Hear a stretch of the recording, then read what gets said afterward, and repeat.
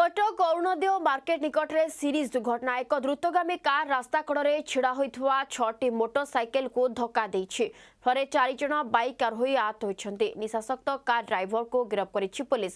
ACB medical রোগীঙ্কু নেই কারটি যাজপুর যাওয়া বেড়ে এই দুর্ঘটনা ঘটিছে